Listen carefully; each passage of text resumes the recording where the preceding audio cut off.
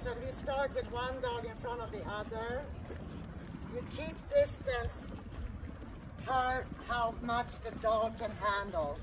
These two dogs can handle this now. You may need a lot more at first with a new dog.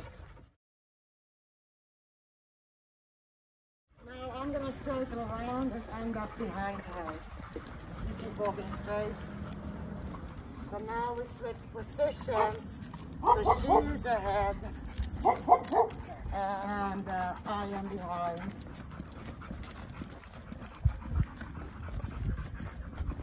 But these two dogs now are tolerating this fine.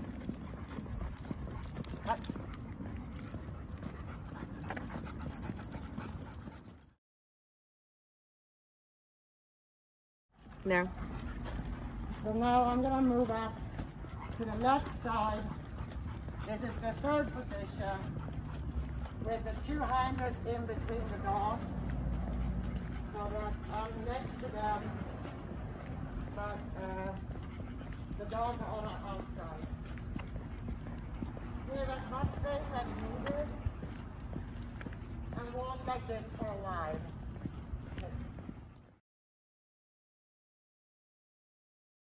Okay, step four. Walked like this for a while. And now she is going to move her dog to this side. So they are one step closer. And now we will walk like this for a while. so now, step number five.